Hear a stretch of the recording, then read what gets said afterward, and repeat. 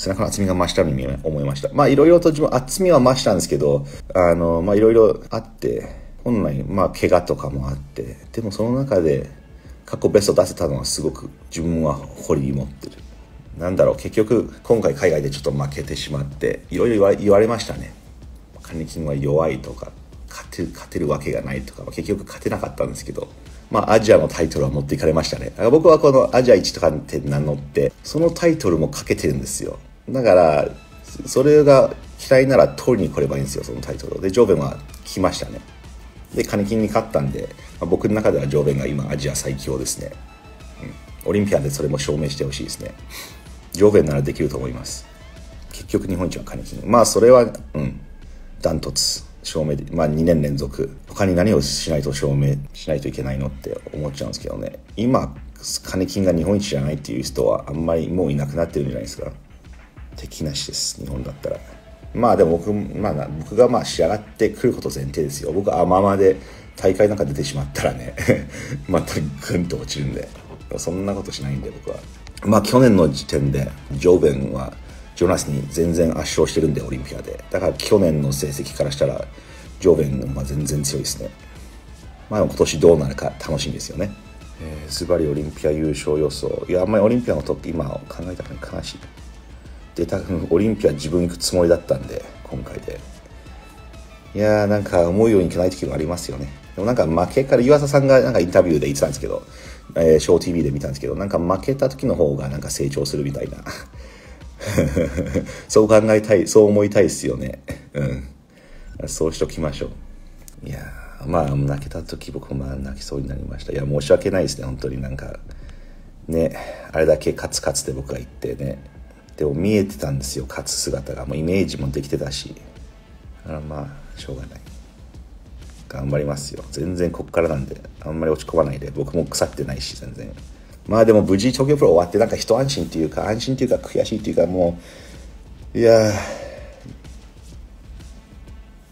うん難しい難しいまだちょっと決着決着決着？決めきれてないんですよね今後どうするか、うん、今後どうするかっていうかまあそのフィジークを続けるか続けないかとかそういう話じゃないですよ。なんかどこかでどこか出ようかなとか。えー、そういう感じ、うん。まあ、結局勝敗ってもうあのオフシーズンって決まると思ってるんで。あとはまあ減量期に相当バカなことしない限りは仕上がるでしょうっていう思いなんで。オフの時にだらしない人って結局改善点改善できてないし。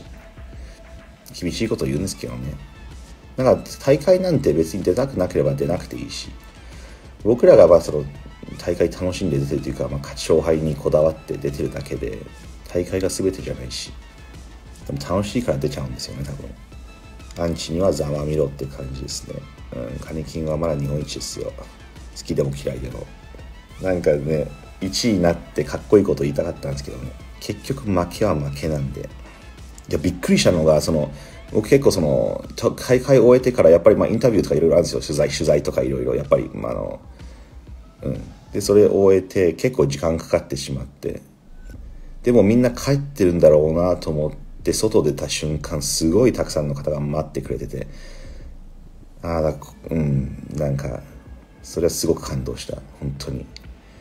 だからいまだにこのなんか会見が8年間ぐらい9年間ぐらいこういうことやっていまだになんか俺まだこうなんかなんだろうね見に来てくれる人がいるんだなって思うとなんか僕もなんかなんか何なんだろうなんか感動してなんか泣いて泣いてるなんか人もいてなんかすごいなんか心動か動かされたんですけどなんかそのそれと同じく僕もボロッコその変なこと言うと同じだけ傷つくんだなっていうなんか自分の発言への責任感を感じてなんか そういいこと言うとみんな喜ぶし変な悪いなんかいじめると あんまりでもなでも何なんだろうあんまり気にせずに今まで通りやっていきます、うん、発言にまあ気をつけたいんですけどなんか思うことをいつも言ってるんで自分は。そのままの方が楽しいかな。うん。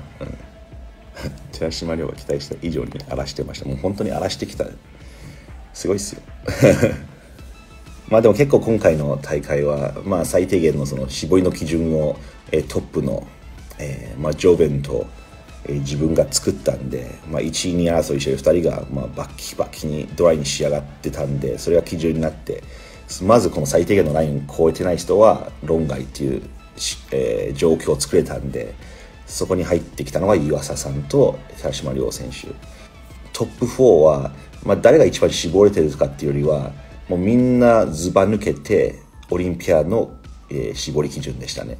僕もオリンピア行ったから分かるんですけど、まあ、オリンピアの中にももうさらにもうこれはもう才能とかしかとしか言いようがない馬鹿げた絞りの持ってくる人はいますよ。あれはもう何なんだろう。うん。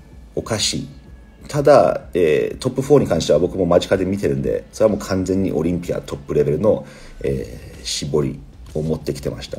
あとはまあトップの選手はさらに張り感が良かったりとかまあもっと筋肉自体があるので丸々してるんですけど、まあ、絞りに関しては小さくても大きくてもできるんで、うん、できます。だからそそこをまず満たさないと。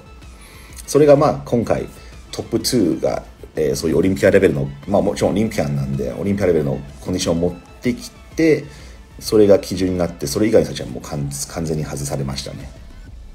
でかい人、めちゃくちゃシルエットがいい人とか、でかい人とか、いたんですけど、なんか並べちゃうともう甘さが目立ってしょうがないみたいな。決してそんなに甘くないかもしれないんですけど、そのトップ4と並んじゃうともう暴露されちゃうみたいな、そそういう感じになっちゃったんでまあそれが自分の今回の戦略でしたね。で、カニキンはじゃあでかいかといったらまあでかくないんで。で、僕よりでかい選手がもう腐るほどいる大会って分かってたんで、じゃあどこ、どこで差をつけようとなったらコンディションなんですよね、結局。うん、シェイプはあるし、シェイプ、コンディション、パフォーマンスあれば、まあ多少でかい人でも倒しちゃいますね。でかい人が絞り切って、しかもバランスもシンメトリーもポージングもあると、それがオリンピアのトップ5レベルなんで、そういう人には、まあ、今自分勝てるような体ではない。サイズをもっとつけないといけない。っていう感じ。まあ、とりあえず東京プロ皆さんお疲れ様でした。